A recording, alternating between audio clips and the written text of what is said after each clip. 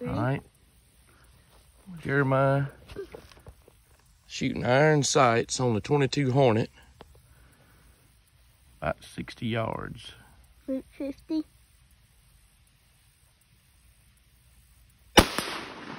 Good shot, buddy. Thanks.